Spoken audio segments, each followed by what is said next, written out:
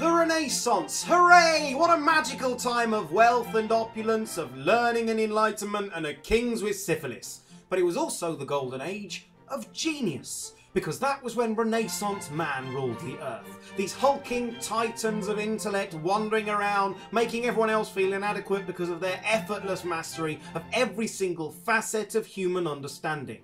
People like Leonardo da Vinci, who was irritatingly good at everything from inventing to architecture to art, science, engineering, and even Boggle. But you fast forward 500 years, and where are all the polymaths nowadays? Sure, we've got geniuses, they're all over the shop, people like Chomsky and Gates and Hawking, but they only really excel in one specific field. Does that mean that there are no universal geniuses anymore? Fuck no, and I intend to prove it in my new comedy quiz show, The Humble Quest for Universal Genius. Each show will see two top stand-ups pitted against each other to see if either of them have what it takes. They're going to be tested on proper subjects too. You'll see them compete in art, languages, poetry, wit, etiquette, science, actual knowledge, and of course hunting.